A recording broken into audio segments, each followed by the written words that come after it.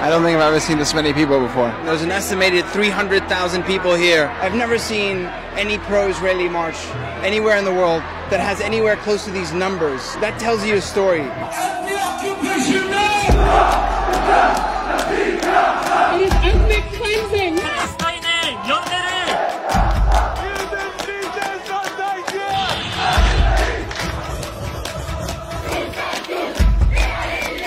It's not just Muslims, it's not just Asians.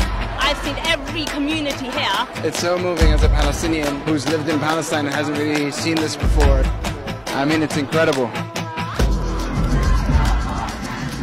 Anyone with a conscience believes that a civilian population should never be punished in this way.